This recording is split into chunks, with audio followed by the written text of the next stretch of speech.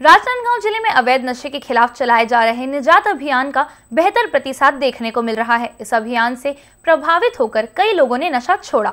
साथ ही अवैध नशे के कारोबार में इस अभियान के ज़रिए अंकुश लगा है।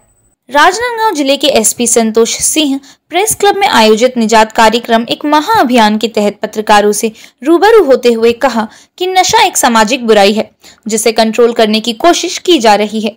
इस अभियान को हर व्यक्ति तक पहुँचाने का प्रयास किया जा रहा है, जिसमें आम लोगों से लेकर जनप्रतिनिधि भी अभियान को सफल बनाने में सहयोग कर रहे हैं। ज़िले में हम लोग लगातार निजात अभियान के तहत ड्रग्स, नारकोटिक्स और अवैध शराब पे कार्रवाइयाँ कर रहे हैं। इन जनरल ये, नशा मुक्ति का भी एक अभियान है और सबसे बड़ी बात कि इसमें जो पुलिस की कार्रवाइयाँ हैं हम लोग ज़ीरो टोलरेंस पे इस पर काम कर रहे हैं। और आज सिर्फ़ आंकड़ों की बात देखें तो पिछले साल का 300 प्रतिशत और उसके पिछले साल 2020 की तुलना में 400 प्रतिशत कार्रवाइयाँ सिर्फ़ छः महीने में हुई है।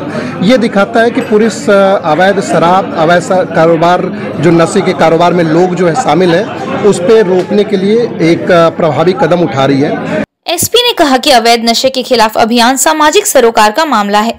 लोग इससे जुड़ भी रहे हैं। ज़िले में अब तक लगभग 1205 लोगों के साथ की जा चुकी है मीटिंग, जिसमें गाँव, कस्बा, स्कूल, कॉलेज, बाज़ार में जागरूकता कार्यक्रम कर लोगों को जागरूक किया गया।